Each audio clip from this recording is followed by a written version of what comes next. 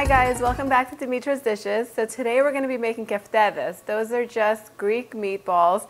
They're delightful, delicious, and really easy to make. You're going to need some olive oil for frying them, some a little bit of all-purpose flour for dredging them, one, an, an egg yolk with a little bit of milk, some finely chopped onions and bell pepper and garlic that I've processed in the food processor, a little bit of salt, a little freshly ground black pepper, crushed red pepper flakes, of course, a little bit of dried oregano, some shredded Parmesan cheese, some ground beef, breadcrumbs, and freshly chopped parsley. That's it. That's all you're to need. It's really simple. We're just to start mixing these and putting everything together while my oil gets ready and heats up to about 360, de 360 degrees. Um, I don't have a thermometer or anything like that. I kind of I did the wooden skewer test, and if you've watched my French fries, uh, the way I made my chicken with chicken stew with French fries, it's I just kind of stick the skewer in there, and if it bubbles up, then it's ready. We're gonna put. I'll show you how I'm gonna do it. We're gonna put the spices and the seasoning in. Okay, so I, I processed my onion, garlic, and bell pepper, and then I put it in a bowl lined with um, paper towel, and that's just to catch any of the excess water, so that way our um, keftedes, our meatballs, are very flavorful, not kind of watered down. Because we're gonna get, oh, yep, our oil is ready. We're gonna get moisture from the milk and the egg. We don't need too much moisture. And I'm gonna use my hands right about now because this is kind of frustrating. Your clean hands are your best, best tool. So I'm gonna beat my egg and my milk and pour it over here. And you can get the whole recipe with the measurements and everything on dimitrasdishes.com. You could definitely, I'm using 100% um, beef in this, ground beef.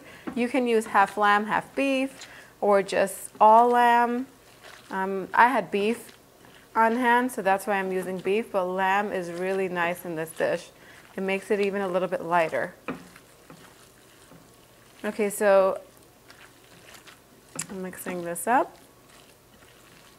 So ideally you want to make this mix even the night before or the morning of and let it kind of sit and rest in your fridge covered with saran wrap after you're done mixing it for at least an hour or overnight if you're making it the night before. That just really helps the flavors all come together and marry and you know the, the meat gets to rest a little bit and they'll be even more yummy but Right now, I don't really have that much time, so I'm just going to make them as soon as I'm done mixing them. And they should be just fine, but if you have time and you're going to make these and you're going to be really, really prepared, then that's the best way to do them. Let it rest for, you know, at least an hour in your fridge, and they'll be super, super good. Okay, so I'm going to shape them into little balls. And it's totally up to you if you want to make them small or a little bit bigger. As long as they're round, they'll be fine. So I take a little bit at a time, like a little bit bigger than, it's kind of like golf ball size. That's the size I like to do. Kind of plop them in here. We're going to do a few at a time. So what I'm going to do is just stick my skewer in here and if bubbles come up in a steady stream, then your oil is ready. So if you have a thermometer, go ahead and check the temperature and make sure it's between, you know, 360 and 370 degrees. So I'm just going to dust these in flour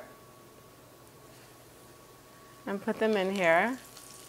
And shake off the excess, okay? You don't want it to be a lot of, whole bunch of flour on these. They're going to take anywhere between 6 to 10 minutes to cook.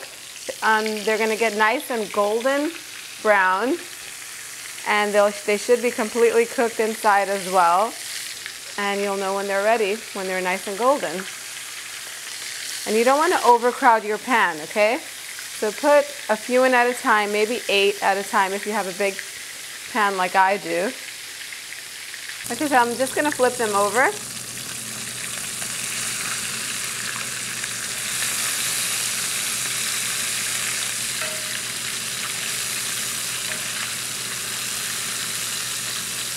And wait another about four minutes and then they should be completely done. I'll show you how I serve them. So I'm to take my last batch out. So I'm going to taste one because I can't resist. Everyone who knows me knows that I avoid frying things like the plague. Don't like to fry for health reasons, plus splatters everywhere makes a big mess. But these are absolutely worth it. They're so, so yummy, so good. I'm gonna try and take one that's not burning hot, or maybe two, these two right here. They're kind of small too. Here they are. Go on the website, www.dimitrasdishes.com. Tell everyone you know about my channel so we can teach everyone how to cook one recipe at a time, right? Put this on the side. This is completely delicious with tzatziki sauce, and I'll post the recipe of that pretty soon. That's what this white creamy sauce is. I'm to take some, put it on the side. Look at that, look at the inside. It's so juicy. So good. Smells so fresh and delicious and really light.